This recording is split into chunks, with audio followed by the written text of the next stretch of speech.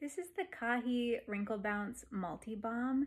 This is really, really cool. Korean skincare is like in year 3000 and we are still in like 1995. So this is a multi-balm that you can put anywhere where you have like a little bit of dryness. But my favorite place to actually put this is under my eyes.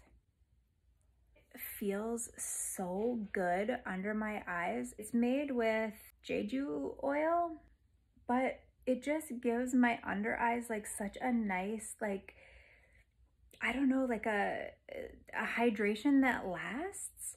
It feels really really good.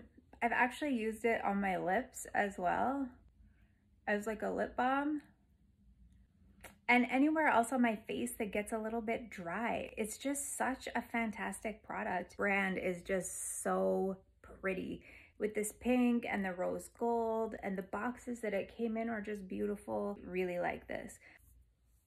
I do find that like it just, this stuff stays really nicely on my skin and it feels really good. So before I go to bed, I've just been putting some of this under my eyes with an eye cream and I just, I feel like it just works really nicely. And I feel like when I wake up in the morning, my under eyes are looking brighter and they definitely are not as crepey. So I feel like this works really well for dry eye, under eyes and that's fantastic. Our Kahi Seoul is is fantastic. If you are a, you know, skincare junkie, I would keep an eye on these guys because I think they are on their way up. They have some pretty fantastic products and this is a standout in my opinion.